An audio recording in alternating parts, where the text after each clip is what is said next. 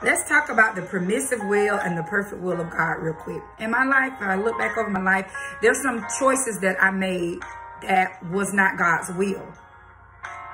Are there some choices that you made that's not God's will? God is God enough and he's gentle enough and he loves us enough that he doesn't force us to do anything that we don't want to do. So when we choose to do things that's contrary to the will of God, he allows it so that he can get us back to his perfect will. A lot of the storms that's going on in your life isn't because uh, uh, um, God did it. It's because you chose to be in the permissive will.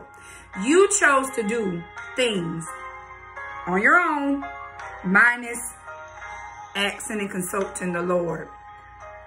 He didn't stop you. He allowed it. He allowed it so that you can learn the lesson in the middle of the permissive so that you can jump back right over here to the perfect will. So I just encourage you today, no matter what's going on in your life, just evaluate yourself and see where you may have been wrong. Are you still walking in a permissive will? Are there some things that you chose to do on your own outside of the will of God?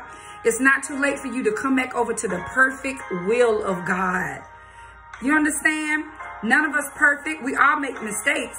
But the great thing about God is he's so loving and he's so kind that he will accept us back into his perfect will because he wants everybody to walk in their purpose. purpose. He wants everybody to um, be everything that he created them to be. And you can do it. If I can do it, you can do it. We can both do it together. So come back over to the perfect, get out of permissive and come on back over to the perfect will of God and enjoy the rest of your week.